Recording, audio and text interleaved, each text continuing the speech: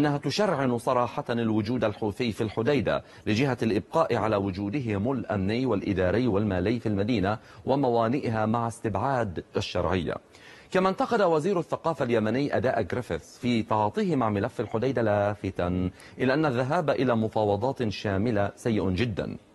وتساءل عن البديل الذي يمكن أن تعول عليه الشرعية في حال أصبح تنفيذ اتفاق السويد يعني حسب فهم جريفيث تسليم الحديدة للحوثيين مشككا في مساعي جريفيث والمقترح الأممي الذي يتفق بحسبه مع تفسير الحوثي لورقة السويد بشكل مباشر هذه المرة.